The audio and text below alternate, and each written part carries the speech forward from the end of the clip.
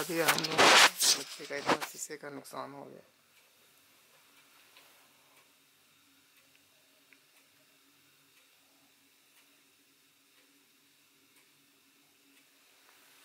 कोई बात नहीं, उसको टैक्स भर उसका कर देना। करवा देना। शीशे का बस ठीक। हाँ।